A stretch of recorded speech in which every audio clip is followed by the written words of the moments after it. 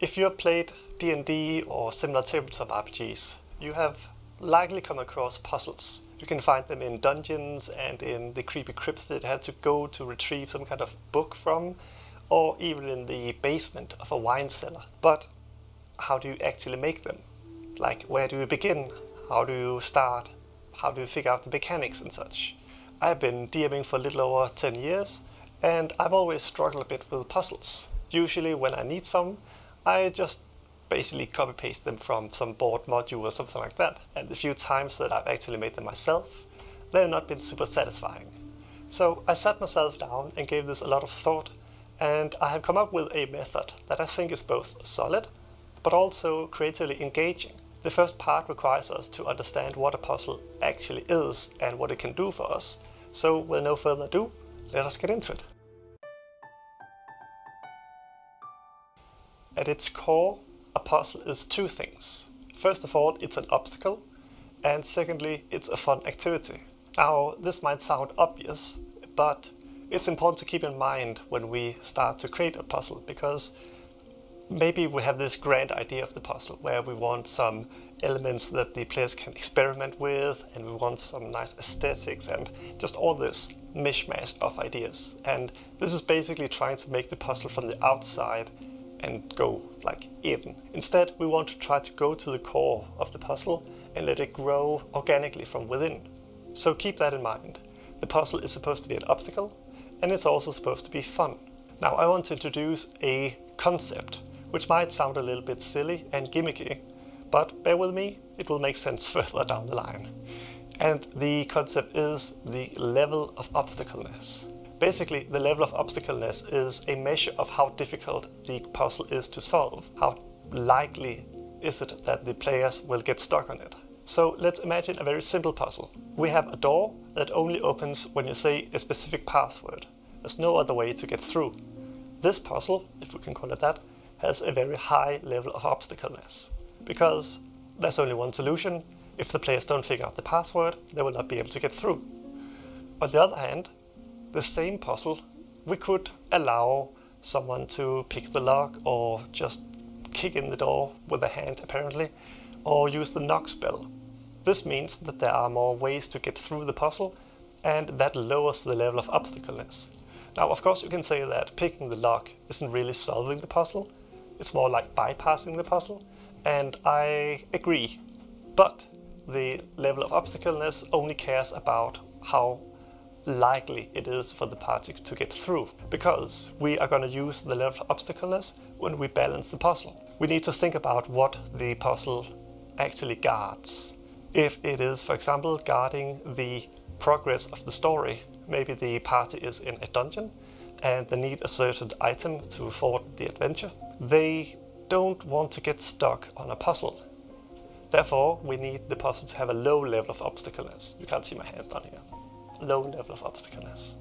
On the other hand, if the puzzle is only guarding like an optional treasure, like a magical sword or some gold, you can raise the level of obstacleness. Because it doesn't matter if the party doesn't get through the puzzle.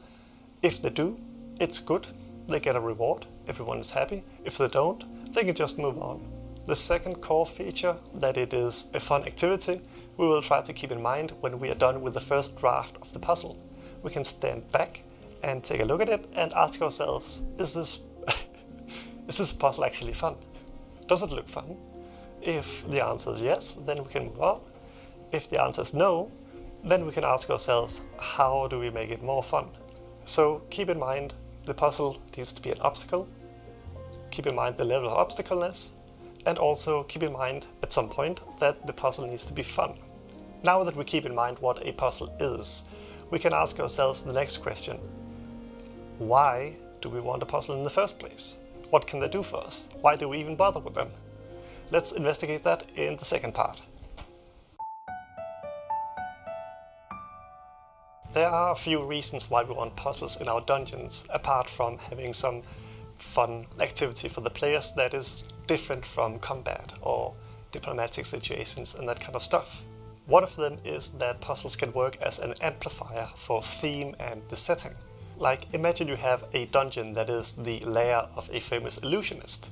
You can show this by having torches that are illusionary, like they cast light but no heat, and you can have illusions in the artwork and the decor of the dungeon.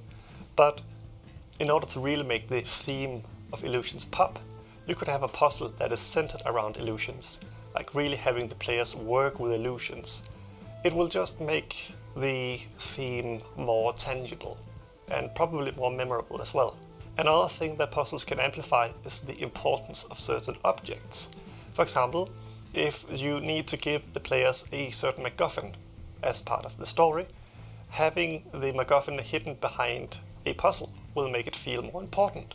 It tells the players that someone has spent time and effort to protect this item, so that just means that it must be important, at least more important than if it was just lying in some chest or part of the loot that you get from the final boss.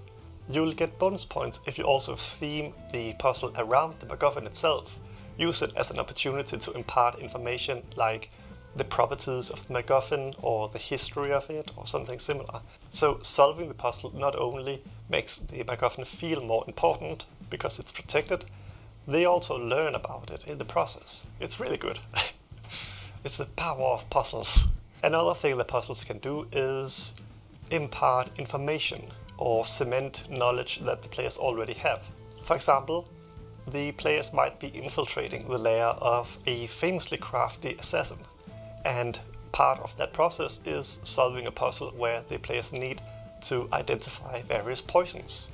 And this tells the players something about the methods of the assassin that they're chasing. Or you could have a puzzle that incorporates the gods from your homebrew pantheon, and that way kind of like making the players aware of the names of the gods and their alignments and such. Maybe they need to arrange them in their different relations or, or like their history or something. And like working with this knowledge will make it easier to remember.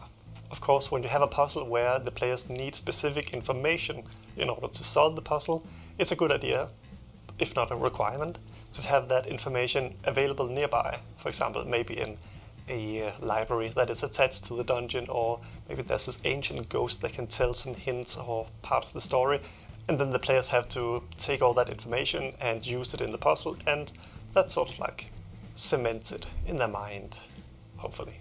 A great example of such a puzzle is the first puzzle in the Tomb of Annihilation, the puzzle that grants access to the tomb itself. Basically, the players have to arrange the nine trickster gods into a way where they oppose each other in this pattern.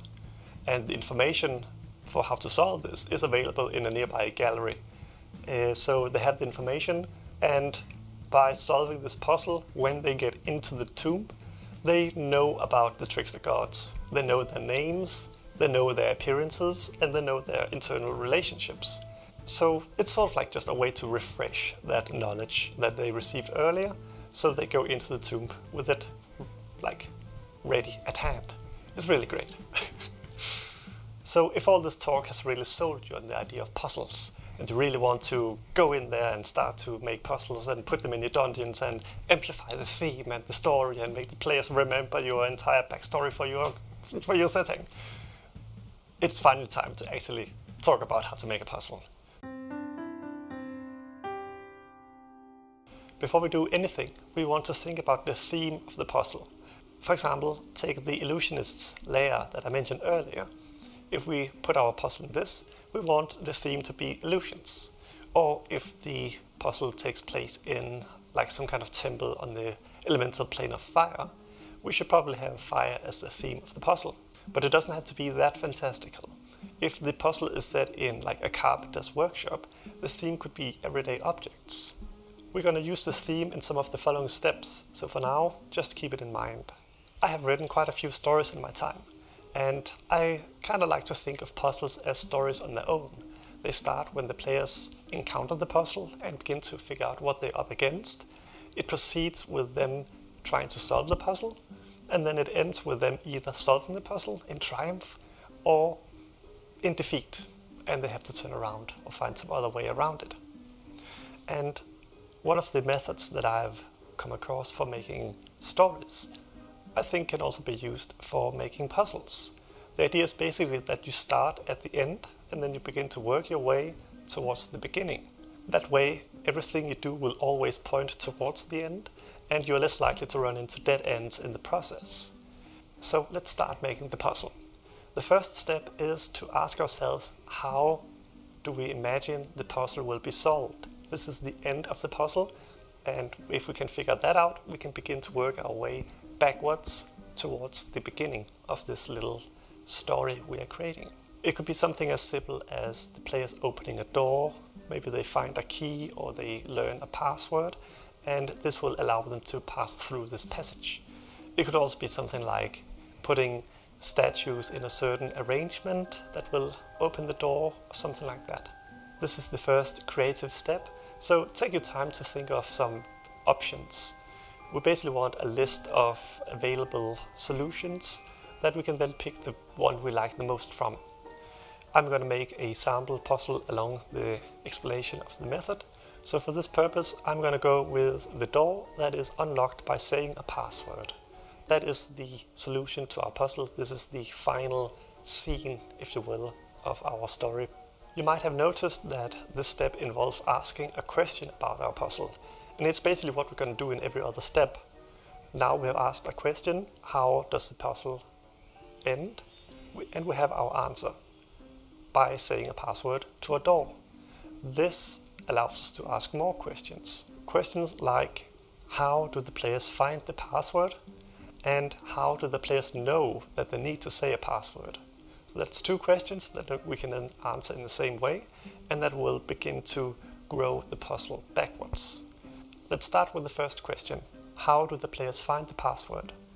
We will try to find a few options and then pick the one we like the most. So the first option could be that the password is hidden in a sequence of other words and the players need to figure out which word stands out in order to find the password. Another option could be that they need to find the sequence of letters and basically spell out the password.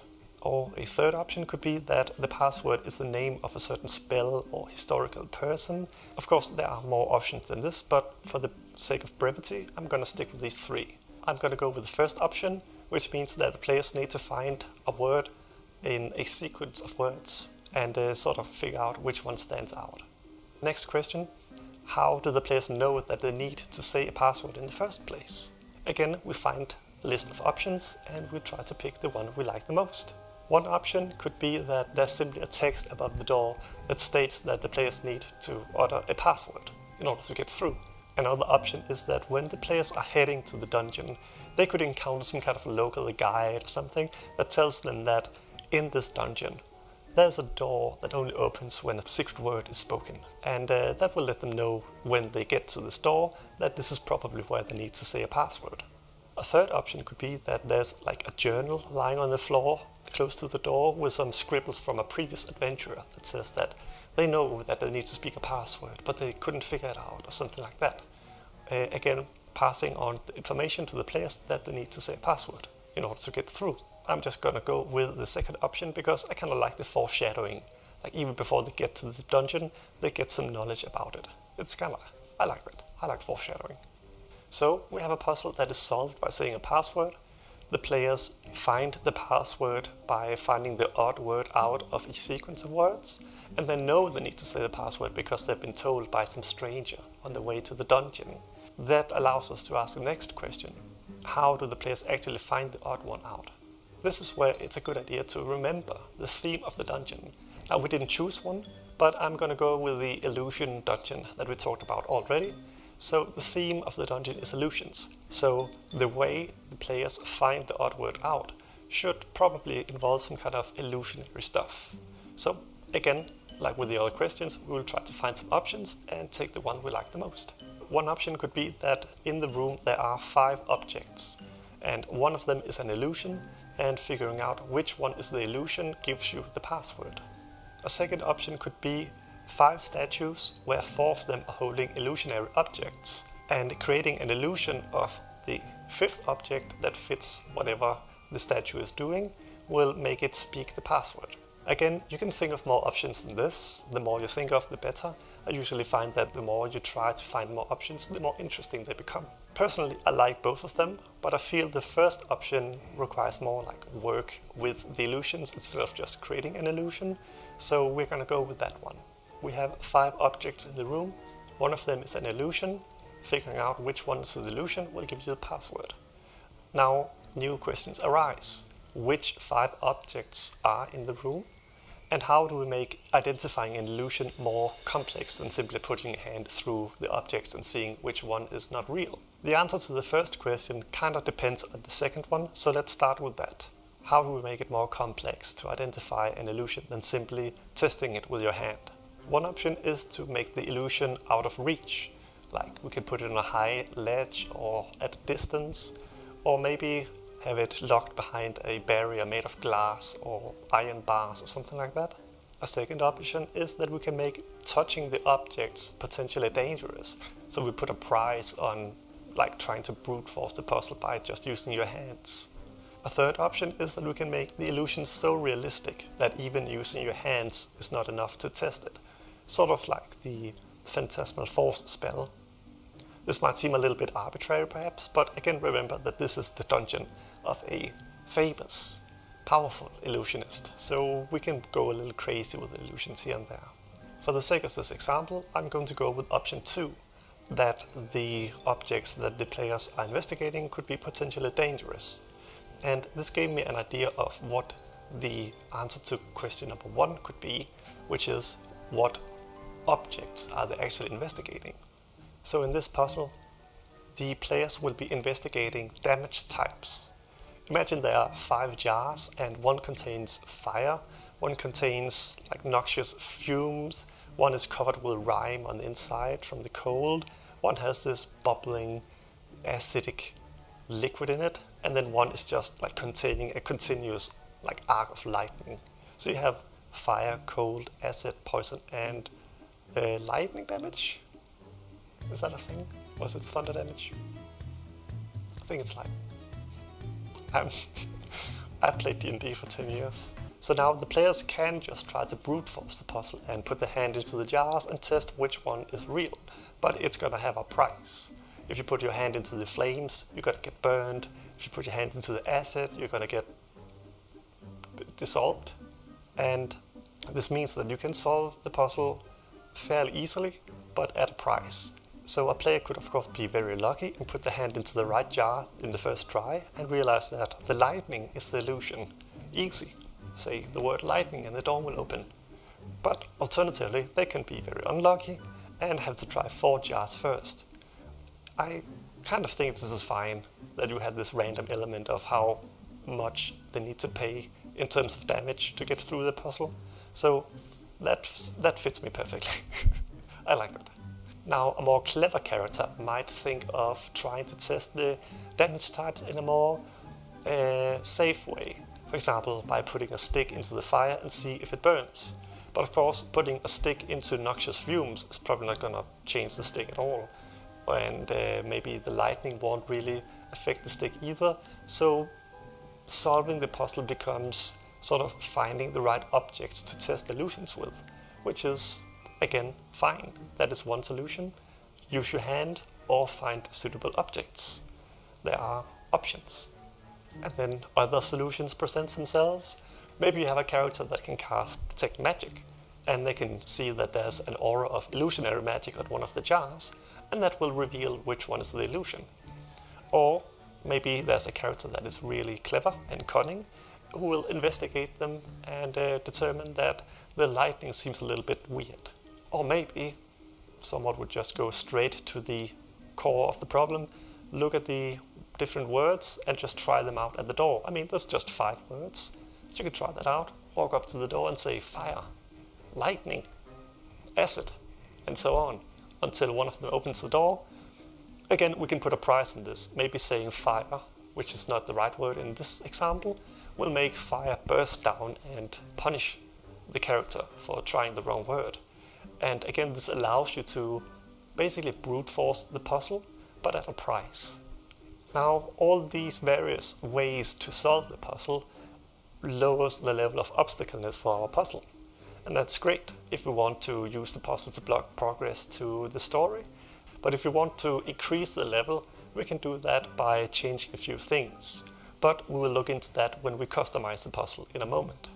For now, this is the puzzle that we've made. The players approach the dungeon. They are told by a local tavern keeper that the dungeon has a certain door where you need to say a specific word in order to pass through.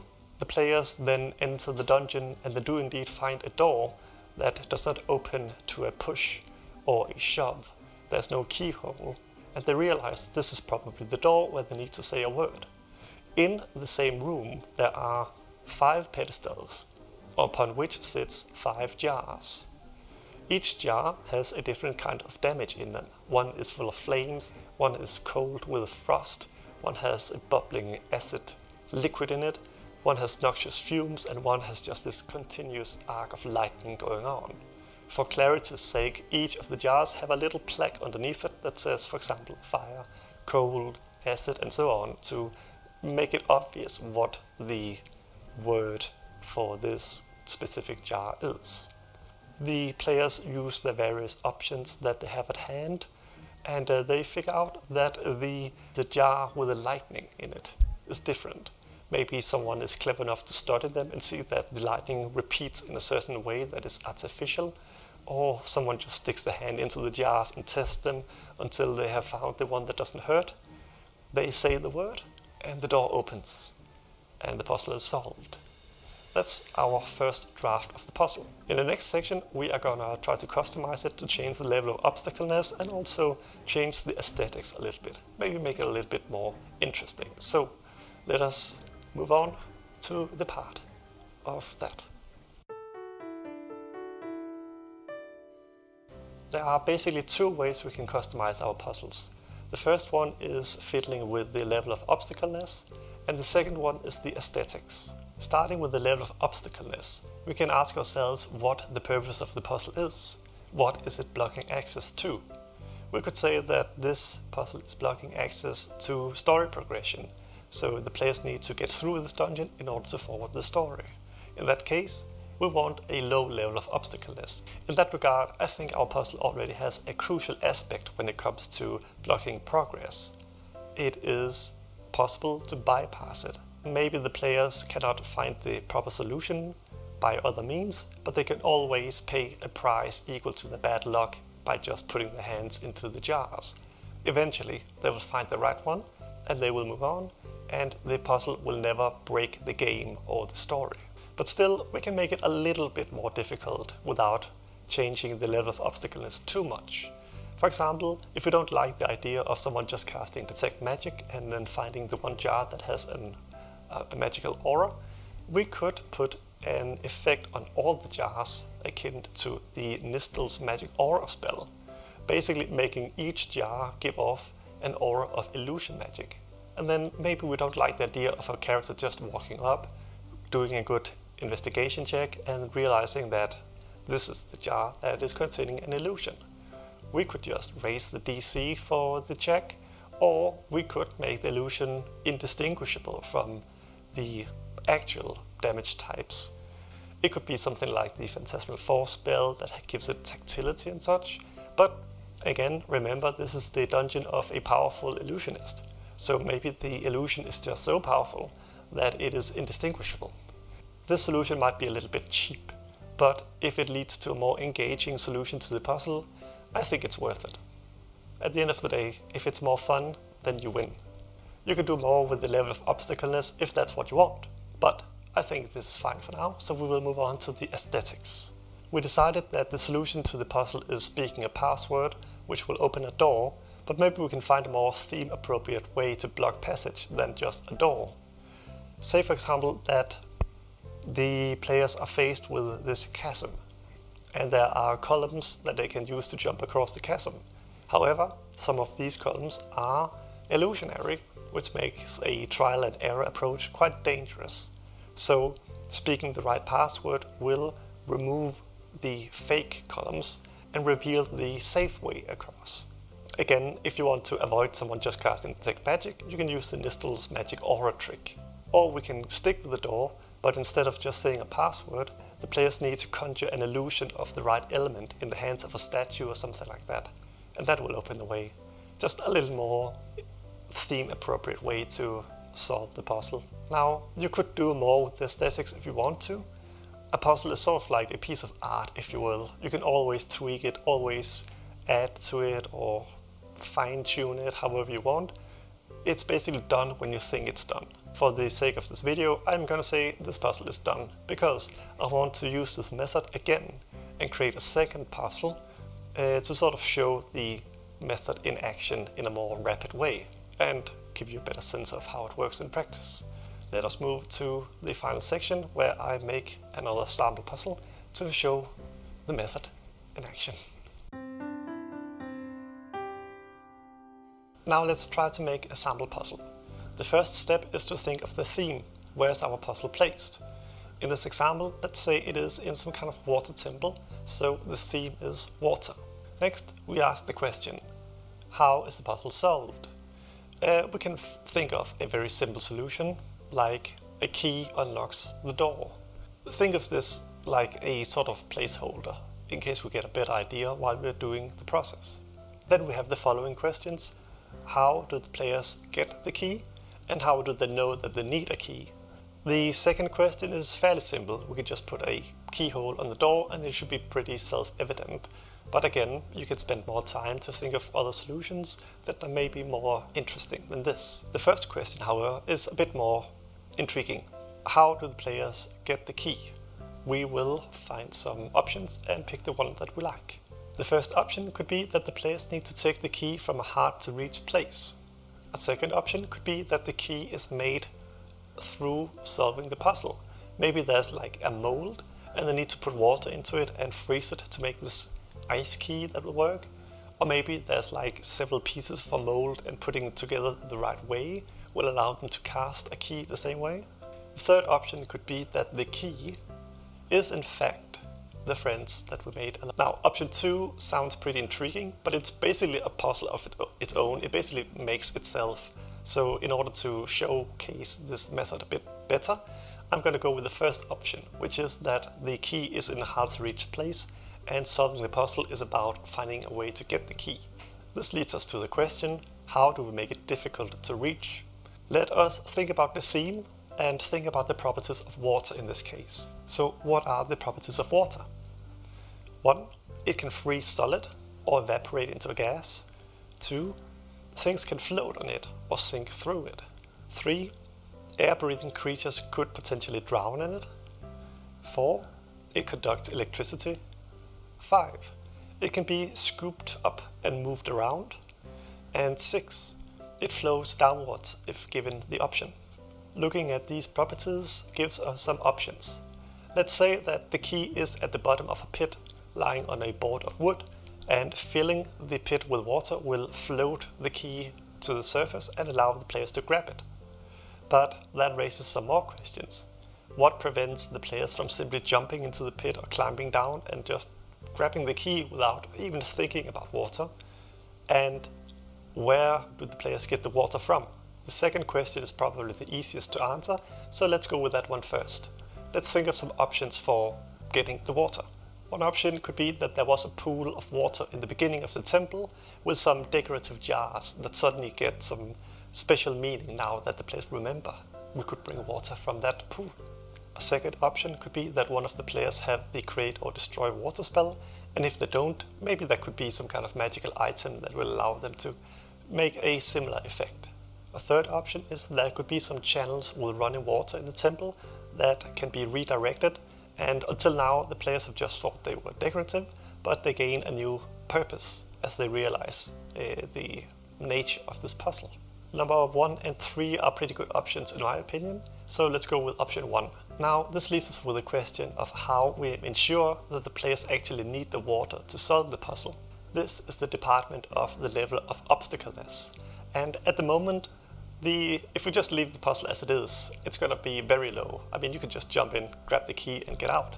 And that might necessarily not be a bad thing, but we will try to increase the level a little bit.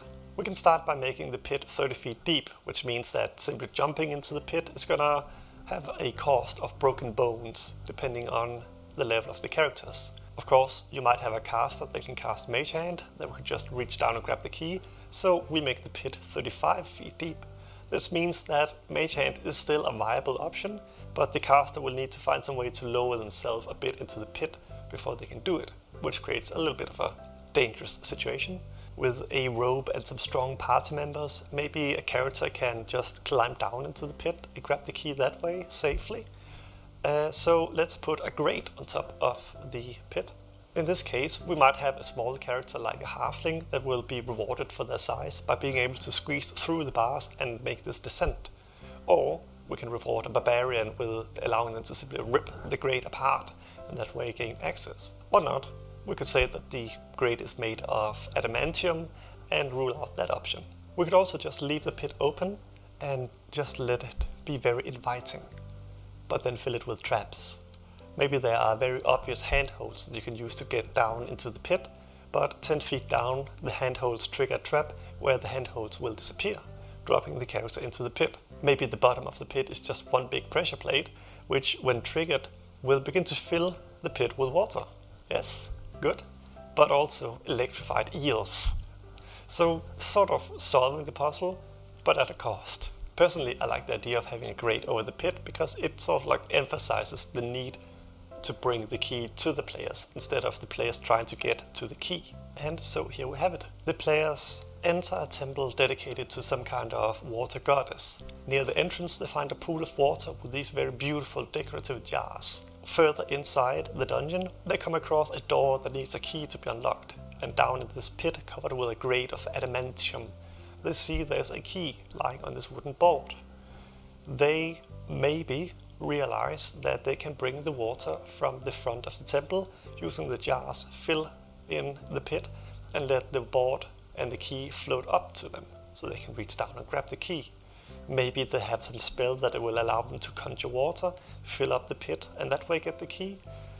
Maybe the idea of water doesn't even cross their mind, and they simply break apart the uh, the grate with some creative method, however they can think of. Maybe they just pick the lock, depending on how important this puzzle is. Maybe the puzzle just blocks access to some optional magical item that they don't really need, which means that we can increase the level of obstacleness. So the door cannot be picked. It is too magical to be opened by such mere means. The grate cannot be removed. They have to solve the partial, the partial. they have to solve the puzzle in the intended way, sort of, within reason. And maybe they do. Maybe they get the key to them. They open the door and unlock the chest that contains the uh, the water sword of the seven magiques, something like that. I don't know.